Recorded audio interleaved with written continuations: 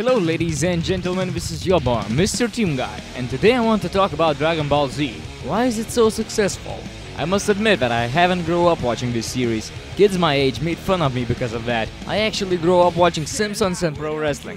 One thing came to mind few years back. Why is it so popular? Why it has tremendous amount of fans who praise it as the best thing ever? So I decided to watch few seasons to understand where this love coming from. As I watched people trying to explain what is so great about it, I only heard these aspects. First and most heard reason was the fighting sequences. Well, after watching full two seasons, I could see that the fighting didn't look good enough to make the series so great. Then there was a reason that the story was mind-blowing, but what I saw was a decent storytelling, and it looked a lot like Superman. You know, boy who has huge powers because he's not human, he was born on a different planet which got destroyed and of course the remaining people from that planet comes to Earth to find him.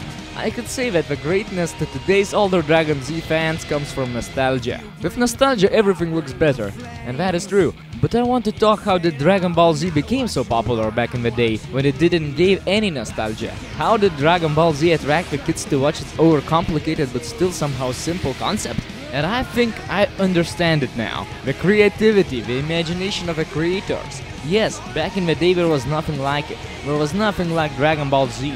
There was no other TV series where you can see people having power levels. There was no TV series where you can see a huge godlike dragon who can grant you any wish, and I mean any wish when you gather all 7 Dragon Balls.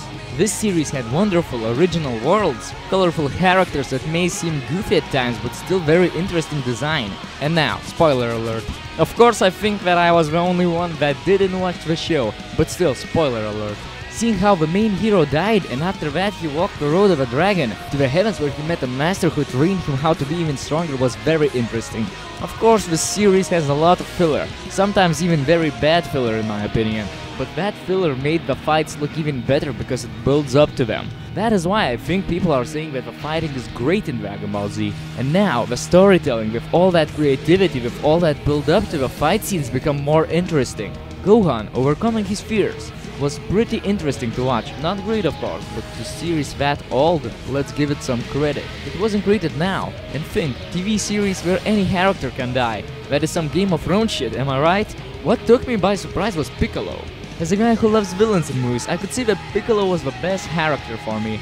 Okay, now listen to me. I'm a pro wrestling fan and I could even say a huge one.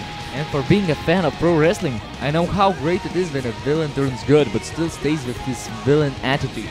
So people fighting all over the place, trying to up their power levels, trying to gather 7 Dragon Balls to give them scary ass god so he could grant them any wish while also visiting all kinds of wonderful worlds, universes, and even beyond. That is what attracts the kids who are still loyal to this franchise. That is what makes any anime great, the creativity. And of course, there are animes that have awesome creativity and very good storytelling like Avatar.